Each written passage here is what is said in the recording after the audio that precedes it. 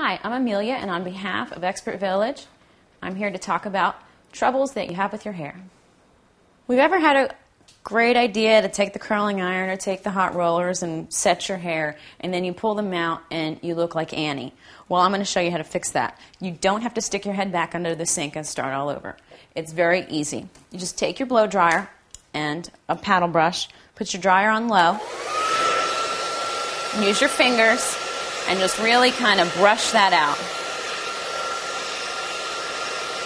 And the sooner you do this, the better. Like, if make sure that hair doesn't really set and cool off.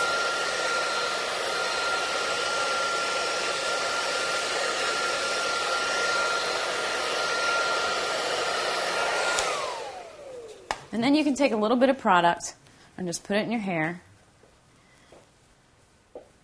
And you'll get a little bit of wave going on. And if you've got any spots that are really bad, you can take your large round brush and kind of pull those out as well.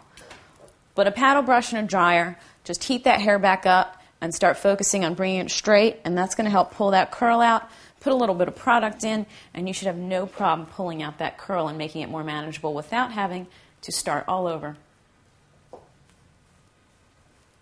So, see, just a little bit of heat will reshape that hair.